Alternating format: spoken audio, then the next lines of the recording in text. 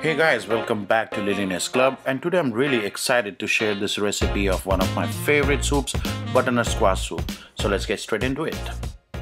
For this recipe, we will need a medium-sized butternut squash, approximately 2 pounds in weight. People usually hesitate to use butternut squash because it looks a little tricky to prep, but it's really easy. The top part is really fleshy and the bottom part is hollow inside. All you need to do is cut into half, open it up and scoop out the seeds. This whole butternut squash can make soup for about 4 to 5 people, but I'm just making it for 2, so I'm using just the bottom half. Make sure you take all the seeds out and it's clean like a whistle. Now just roughly dice the butternut squash. It doesn't have to be perfect dices because you're gonna blend it anyways. And now let's chop half of a medium-sized onion. Now in a medium-sized pot, use about 2 tablespoons of olive oil.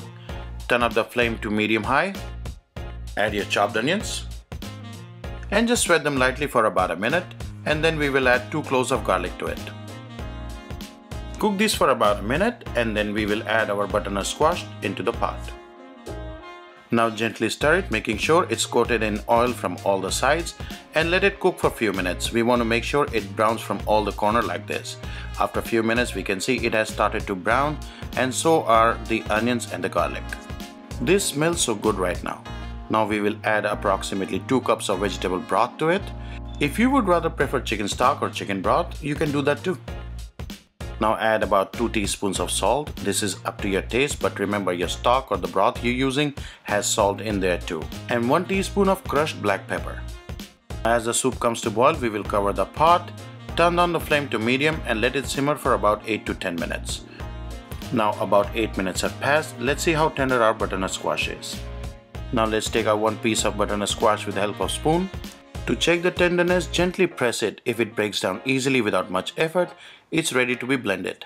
Now let's turn off the flame and blend the soup with immersion blender. Be very careful when blending hot liquid.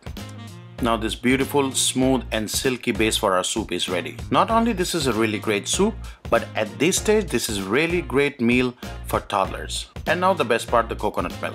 One really important thing before opening the can of coconut milk. Never shake the can of coconut milk before opening it. Because if you shake the can too much, you will mix the natural waters of coconut milk with the creamy part which we want to use for the soup. The watery part is settled down in the bottom and we will save about 2 tablespoons of that for later. Now let's just check for the seasoning, make sure everything is perfect. Mmm, this is delicious. Make sure to properly cook off your milk. This will bring proper shine and sheen on top of your soup, just like this.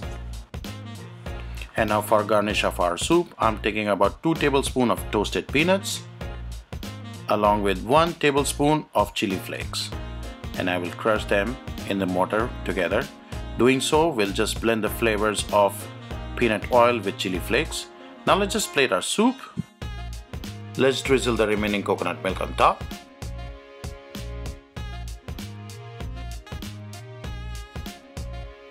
Some freshly chopped cilantro, and the crushed chili and peanuts. And so here it is, your soup is ready. You can top it with hot chili oil, fresh thyme, or fresh lime zest. Enjoy it any way you like. Like other orange colored fruits and veggies, butternut squash is full of beta and alpha carotene. Your body converts them to vitamin A, which is important for immune system. It's excellent for eyes and it's also a great hydrator. I hope you guys liked today's recipe. So please like, comment and subscribe. And until next time, stay safe and blessed.